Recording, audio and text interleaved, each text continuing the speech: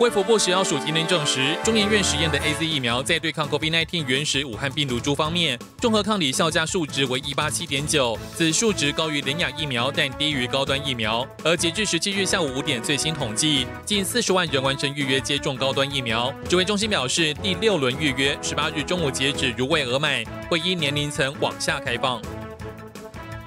法国导演洛克维茨今年纪录片《台湾：中国阴影下的民主》，用镜头探讨台湾新时代数位参与式民主与来自中共的威胁，获欧洲观众广大回响。他接受专访表示，台湾是独一无二的存在。他拍摄的目的就是要把台湾放在世界地图上。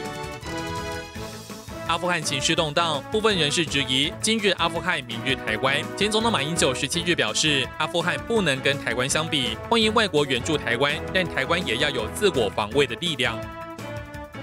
台湾桌球好手小林同学林云如与学姐郑怡静两人靠着倔强的默契，在今年冬奥桌球混双赛事夺下铜牌，堪称最佳拍档。今天是林云如的二十岁生日，郑怡静就在脸书暖心告白，跟笑说：“姐姐再拼十年都值得。”林云如也抛出影片表示收到祝福了，更曝光特制生日蛋糕与网友分享喜悦。新航亚太电视整理报道。